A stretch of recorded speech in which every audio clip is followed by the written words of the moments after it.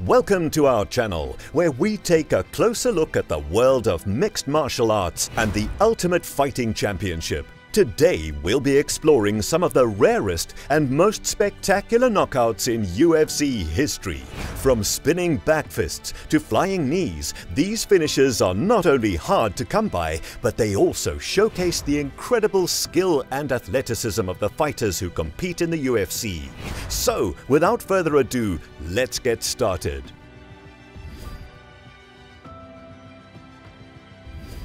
At UFC 142, Edson Barboza delivered one of the most jaw-dropping knockouts in UFC history. In the third round of his fight against Terry Etim, Barboza unleashed a spinning wheel kick that landed on Etim's chin, sending him crashing to the mat in a heap. The impact of the kick was so devastating that Etim was knocked out cold before he even hit the canvas. The fight was immediately stopped and Barboza was declared the winner by knockout. Barboza's knockout of Etim is widely regarded as one of the most spectacular finishes in UFC history. It was a testament to Barboza's incredible striking ability and his willingness to take risks inside the octagon. In fact, the knockout was so impressive that it earned Barboza the Knockout of the Year award from multiple MMA media outlets.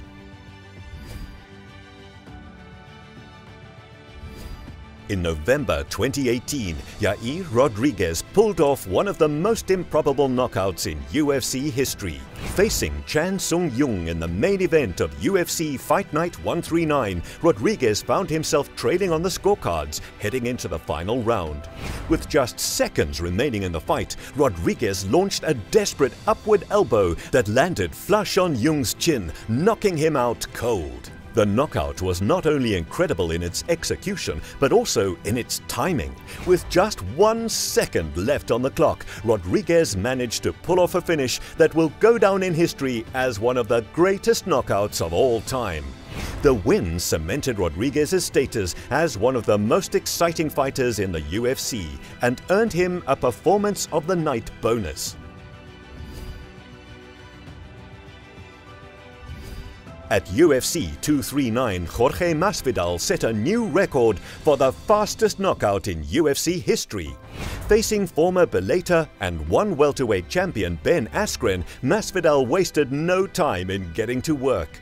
As soon as the fight started, Masvidal sprinted across the cage and launched a flying knee, which then landed flush on Askren's chin, who was setting up for a takedown, sending him crashing to the mat. The impact of Masvidal's knee was so devastating that Askren was knocked out before he even hit the canvas. The fight was immediately stopped and Masvidal was declared the winner by knockout in just 5 seconds. Masvidal then went on to mock Askren by tapping the floor next to the unconscious Askren, adding insult to injury. The knockout was not only impressive for its record-breaking speed, which might never get broken again, but also for the bad blood between the two fighters leading up to the fight. Lyoto Machida's knockout of Randy Couture at UFC 129 was not only one of the most unique knockouts in UFC history, but it was also a defining moment in Machida's career. At the time of the fight, Couture was a five-time UFC champion and widely regarded as one of the greatest fighters in MMA history. Machida, on the other hand, was a rising star in the light heavyweight division, known for his elusive karate-based striking style. Throughout the first round of the fight, Couture attempted to close the distance on Machida and take him down to the mat. But Machida's footwork and movement made it difficult for Couture to get a hold on him. In the second round, Machida saw a gap in Randy's defense. As Couture was just outside of Machida's reach, Machida threw a front kick that landed flush on Couture's chin, sending him crashing to the mat.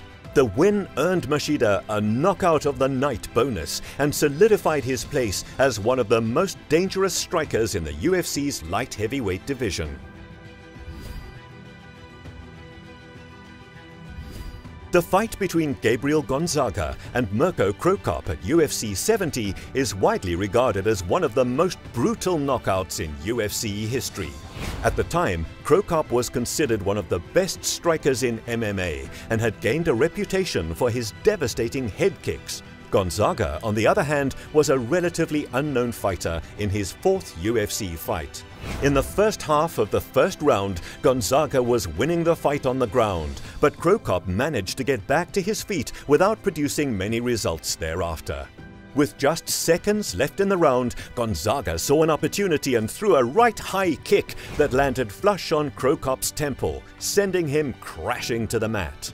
The impact of the kick was so devastating that Cro Cop was knocked out cold and the fight was immediately stopped. What made the knockout even more impressive was that Gonzaga defeated Cro Cop with his own weapon of choice, the high kick.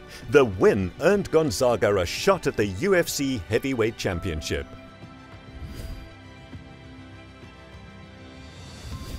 Matt Hughes versus Carlos Newton at UFC 34 is remembered as one of the most unusual finishes in UFC history. The two fighters were competing for the UFC Welterweight Championship, and the fight had been close up until the middle of the second round. In the second round, Newton locked in a triangle choke on Hughes, which is one of the most dangerous submissions in MMA. Hughes appeared to be in trouble and was struggling to escape from the hold. But in a move that stunned the crowd, Hughes lifted Newton up and slammed him to the mat, knocking him out in the process. The win earned Hughes his second UFC welterweight championship. Niko Price's knockout of James Vick at UFC Fight Night 161 in 2019 is widely considered to be one of the most spectacular finishes in UFC history.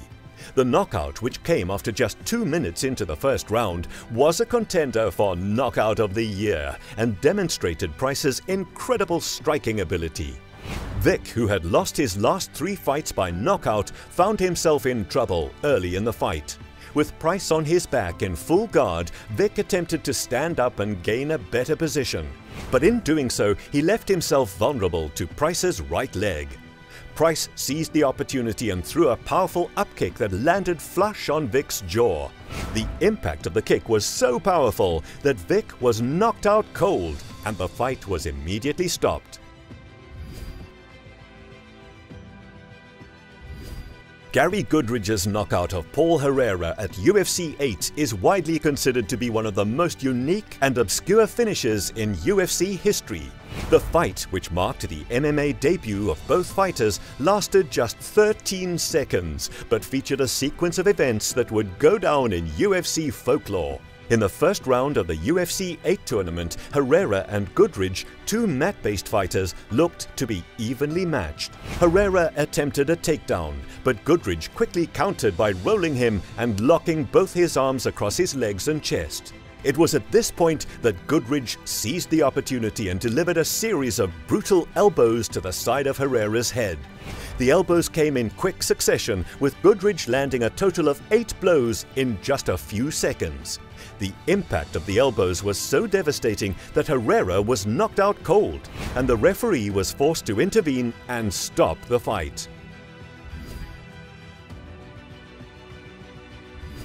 Anthony Pettis versus Stephen Thompson at UFC Fight Night 148 is remembered for one of the most spectacular knockouts in UFC history.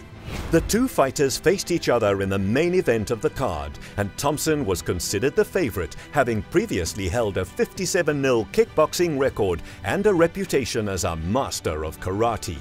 In the early stages of the fight, Thompson appeared to be in control, utilizing his karate style and keeping Pettis at bay with his long-range strikes. Pettis, who was coming off a bloody loss to Tony Ferguson at UFC 229, struggled to find his rhythm. However, in the final seconds of the second round, Pettis delivered a Superman punch that stunned the crowd and sent Thompson crashing to the mat. The punch, which was thrown with incredible speed and precision, landed flush on Thompson's jaw and left him unconscious.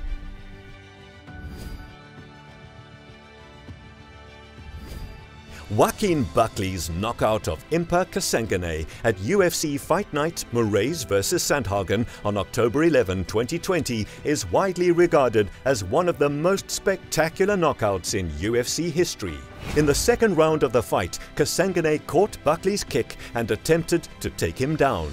As Buckley's back was about to be countered, he spun and threw a powerful spinning back kick that landed flush on Kasanganay's chin. The knockout quickly went viral and was shared widely on social media, with many fans and pundits calling it one of the greatest knockouts in UFC history.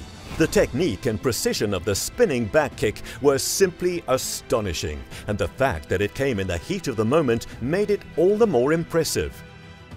Thanks for tuning in. If you enjoyed the video, please give it a thumbs up and don't forget to subscribe for more.